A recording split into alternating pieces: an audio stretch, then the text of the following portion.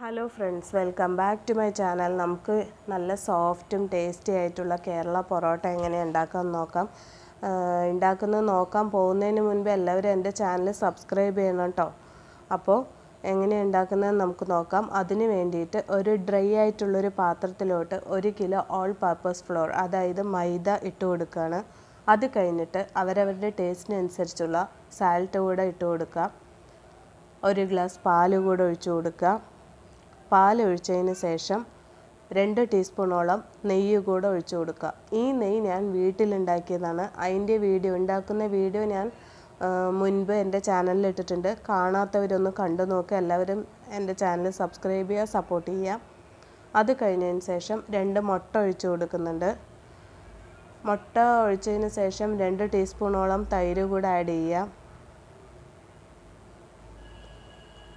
പിന്നെ ഒരു half lemon squeeze ചെയ്തിട്ട് അതുകൂടെ ഒഴിക്കുന്നുണ്ട്. നമ്മൾക്ക് ഈ മൈദ കഴിച്ചിട്ട് ആർക്കെങ്കിലും ഈ ഗ്യാസ്ട്രിക് പ്രോബ്ലം എന്തെങ്കിലും ഉണ്ടെങ്കിൽ അതൊന്നും ഇല്ലാതിരിക്കാൻ വേണ്ടിയിട്ടാണ് ലെമൺ സ്ക്വീസ് ചെയ്യുന്നത്. പിന്നെ രണ്ട് ടീസ്പൂണോളം ഷുഗർ കൂടെ ആഡ് ചെയ്ത് കൊടുക്കുന്നുണ്ട്. എന്നിട്ട് വെള്ളം കുറച്ച് കുറച്ചായിട്ട് ചേർത്ത് കൊടുത്ത് ചപ്പാത്തിക്ക് മാവ് കുഴയ്ക്കുന്ന പോലെ തന്നെ നമ്മൾ കുഴച്ചെടുക്കുക.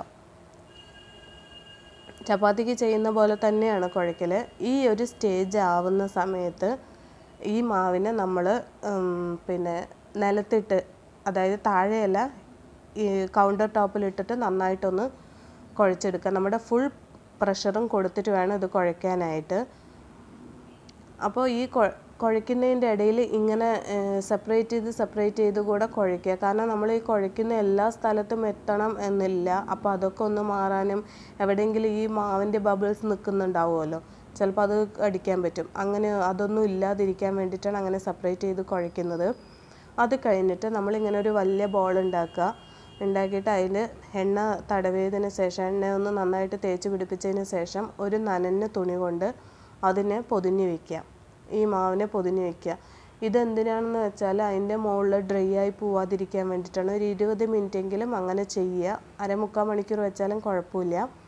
മിനിമം ഇരുപത് മിനിറ്റെങ്കിലും ചെയ്യുക. അത് കഴിഞ്ഞിട്ട് നമ്മുടെ കയ്യിലും നമ്മൾ കുഴയ്ക്കുന്ന ആ കൗണ്ടർ ടോപ്പിലും ഒന്ന് എണ്ണ ചെറുതായിട്ടൊന്ന് സ്പ്രെഡ് ചെയ്ത് കൊടുത്തതിന് ശേഷം ഇങ്ങനെ ഓരോ ബോൾ ഉണ്ടാക്കിയെടുക്കുക. എങ്ങനെ ബോൾ ഉണ്ടാക്കണമെന്ന് അറിയുന്നുണ്ടല്ലോ ഉള്ളിലോട്ട് മടക്കിയതിന് ശേഷം ആ ഭാഗത്തൊന്ന് ഞെക്കി പിടിച്ചാൽ ബോൾ ഇങ്ങനെ ഒരു ബബിൾസ് വരുന്ന പോലെ വരും. ആ ബോൾ അങ്ങനെ എടുത്തിട്ട് അതവിടെ വെക്കുക. ഇങ്ങനെ ഓരോ ബോളും നമ്മൾ ഉണ്ടാക്കിയെടുക്കുക അങ്ങനെ ഉണ്ടാക്കിയതാണ് ഇത്. ഇരുപത്തിമൂന്ന് ബോൾ നമുക്ക് കിട്ടിയിട്ടുണ്ട്. അത്യാവശ്യം വലിപ്പമുള്ള പൊറോട്ട തന്നെയാണ് നമ്മൾ ചെയ്യാൻ പോകുന്നത്. അതുകൊണ്ട് ഇരുപത്തിമൂന്ന് ബോൾസ് നമുക്ക് കിട്ടിയിട്ടുണ്ട്. അതിനെയും ആ നനഞ്ഞ തുണി കൊണ്ട് തന്നെ നമ്മൾ അടച്ചു വെച്ച് ഇരുപത് മിനിറ്റിന് ശേഷം ഒന്ന് കൈ കൊണ്ട് ഇങ്ങനെ പ്രസ് ചെയ്ത് കൊടുത്തിട്ട് വീശിയെടുക്കുക എന്ന് പറയില്ലേ? പൊറോട്ട വീശുക. അതുപോലെ ഇങ്ങനെ വീശിയെടുക്കുക. ഇപ്പോൾ വീശാതെയും പൊറോട്ട സ്ത്രീകൾക്ക് ചെയ്യാൻ പറ്റുന്ന മെത്തേഡൊക്കെ വന്നിട്ടുണ്ട്. അപ്പോൾ ഇതിങ്ങനെ വീശിയെടുക്കുന്ന പൊറോട്ടയാണ്. ഇങ്ങനെ ഓരോ പൊറോട്ടയും നമുക്ക് വീശിയെടുക്കാം.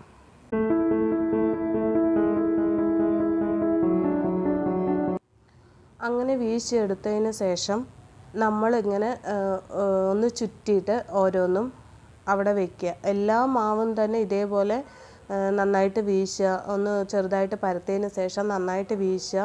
പിന്നെ അതിനെ ഒന്ന് ചുറ്റിയെടുത്തിട്ട് മാറ്റി വെക്കുക. ഇങ്ങനെ എല്ലാ മാവും നമ്മൾ ചെയ്യുക.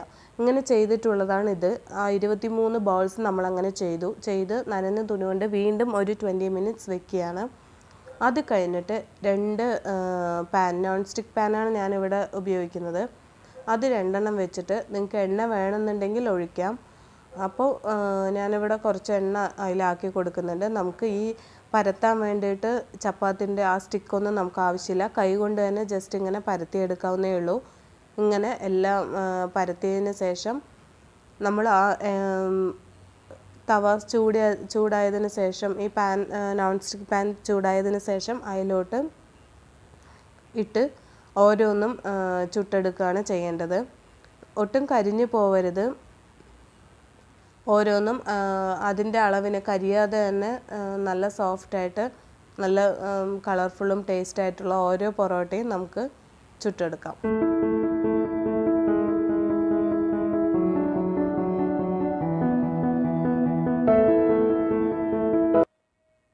ഇങ്ങനെ ചുട്ടു വെച്ച ഓരോ പൊറോട്ടയും അടുക്കി വെച്ചതിന് ശേഷം ഒന്ന് തല്ലി കൊടുക്കുക. അത് ലെയർ ലെയറായിട്ട് വരാൻ വേണ്ടിയിട്ടാണ് ഈ പൊറോട്ട എല്ലാവരും ഉണ്ടാക്കി നോക്കുക അഭിപ്രായം പറയുക കേട്ടോ. താങ്ക്